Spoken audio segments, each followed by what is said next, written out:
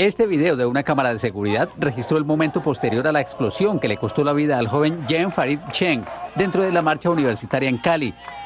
Desesperadamente sus compañeros trataron de auxiliarlo.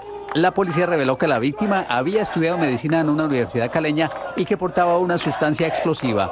Un morral y que al parecer al saltar y correr, como se evidencia en algunos de los videos que se han mostrado, eh, activa el artefacto.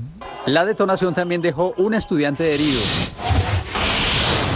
Dos periodistas heridos dejaron violentos disturbios protagonizados por jóvenes en el centro histórico de Popayán durante la protesta estudiantil.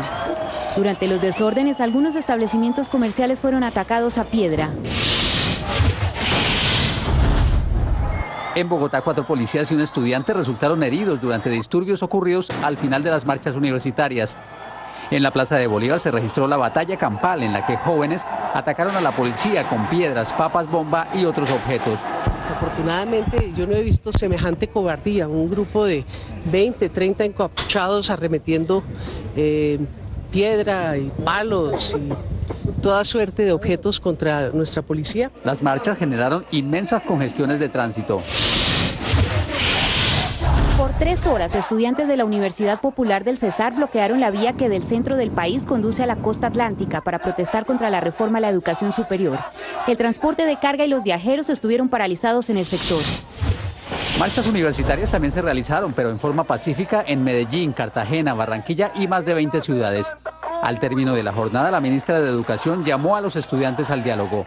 Las puertas están abiertas para escuchar sus propuestas. Bienvenidas las propuestas. La ministra reiteró que la reforma no contempla la privatización de la educación, sino mejorar su calidad y darle más recursos. Miren los daños que provocaron los vándalos infiltrados en las marchas en Bogotá. Son millonarios y aún no hay un balance oficial sobre el monto de las pérdidas. Juliana Enríquez está en el lugar. ¿Cuáles y cuántos locales resultaron afectados, Juliana?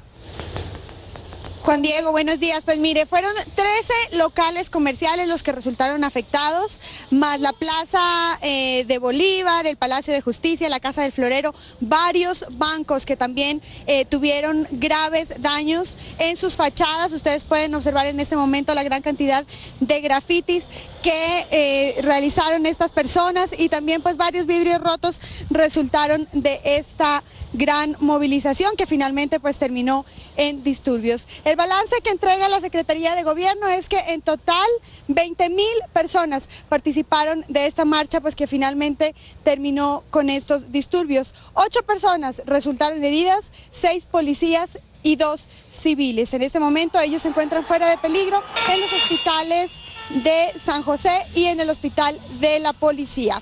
16 personas fueron conducidas a la UPOJ y cinco papas bombas fueron eh, decomisadas. Es la información que les entrego a esta hora desde el Palacio de Justicia. Julián Enríquez, Noticias Caracol.